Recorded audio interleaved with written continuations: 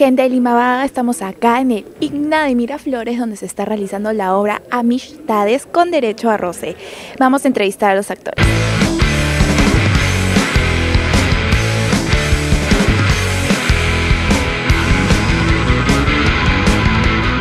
Gente, estamos con Naide Cáceres, ¿cómo está? Muy bien, aquí en los preparativos, ya el 14 es el estreno y como, como comprenderán estamos pero, un poquito asustados, pero a la vez contentos, ¿no? Para ofrecerles un buen producto. ¿Y nos puedes contar un poquito sobre la obra? Claro, claro.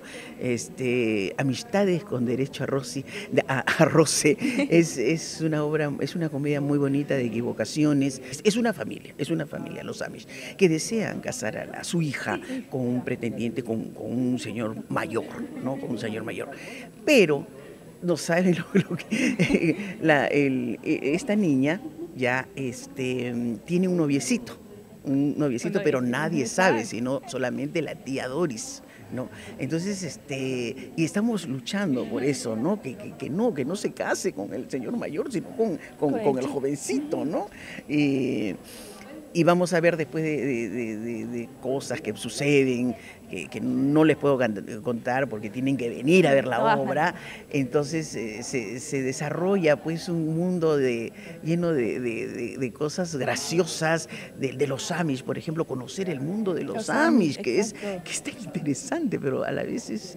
A mí no me gustaría vivir así. ¿No? No figúrate, desligar de, desligarse de todo. de todo, ¿no? De las cosas modernas, del celular, del televisor, de, de, de la todo, comunicación, la comunicación, porque todo. ellos son, pues, son agricultores, ¿no? Claro. Generalmente.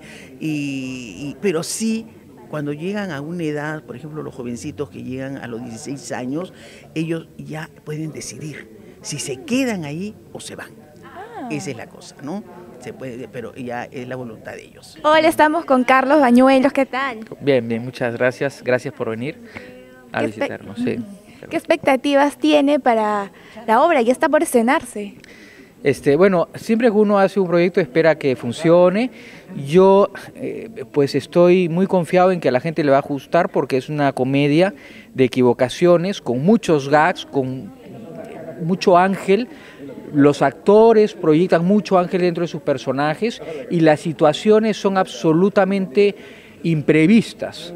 No es algo que uno pueda este, eh, eh, ir adivinando según va pasando la obra al final. Está muy bien, creo que va, va a gustar bastante. ¿Y lo sí. podías contar así brevemente sobre tu personaje? Bueno, yo interpreto dos personajes. Esta obra se trata sobre un hacker informático que ha hackeado, o sea, que ha pirateado las elecciones presidenciales de un país latinoamericano, que se esconde en Lancaster, en una comunidad Hamish. Lo chistoso de esto es que él no puede vivir sin la tecnología y como sabemos los Hamish odian la tecnología. Yo interpreto dos personajes, uno es el amigo de él, que es un tío muy, este, uh, es un poco sarcástico, extraño, con barbas muy largas, y el otro es el, el interés romántico de la novia de mi tío, o sea, el interés romántico de, de Elliot, ¿no? Que es Frances, o sea, es el triángulo amoroso. Yo soy el sobrino de Elliot y ambos pugnamos por la misma chica, que es Frances. ¿Van a luchar por su amor? Ah, luchar. Luchar al estilo, al estilo Hamish. Ya has visto yo a que lo voy a retar, ¿verdad? Sí. Okay. Hola Vera, ¿cómo estás? Hola, bien, ¿qué tal? ¿Qué expectativas por la hora? Estoy muy contenta, me estoy divirtiendo un montón y ya quiero estrenar para que todos la vean. Ya no falta nada. No, estrenamos este jueves 14, pasado mañana. Ya nada. Nada, nada, nada. ¿Y nos puedes contar un poquito sobre la obra? Sí, la obra trata eh, de la comunidad Amish que son estas personas eh, en Estados Unidos mayormente que no usan nada de tecnología, o sea, no tienen electricidad, no usan eh, televisión, no tienen ni siquiera como luz eléctrica, o sea, nada, nada de tecnología, nada, nada. Entonces, este, eso es muy, muy gracioso y muy importante en la obra porque el personaje de Pedro, Mr. Elliot, él es un adicto a todo ese tema de la informática y la tecnología, la tecnología. entonces él no puede vivir sin eso y le choca un montón venir a vivir con nosotros. ¿Y los podías contar así brevemente sobre tu personaje? Sí, Frances es una chica Amish de 20 años y es la menor de 16 hermanos.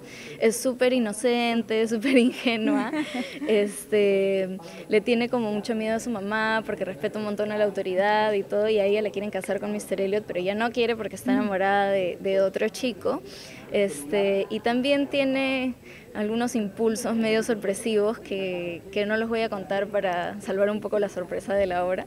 Para generar este, expectativas. Para generar expectativas, sí. Gente, estamos con Pedro Lorte y ¿qué tal? ¿Cómo está? Hola Alba, feliz aquí, ya a puertas de un estreno, siempre hay nervio, hay mucha energía, así es que tenemos muchas ganas de compartirla con la gente que nos visite. Ustedes con Derecho a Roce es una creación de, de, Carlitos Bañuelos, El Gato, basada en un clásico de, la, de las niñas de Moratín. Eh, que la tiene ya este, escrita hace un buen tiempo y la puso con mucho éxito hace unos meses en Madrid, en España, donde él radica. Entonces surgió en él la idea de ponerla en Lima y bueno, nos convocó para, para, para el placer de todos nosotros, ¿no? que es un reto interesantísimo.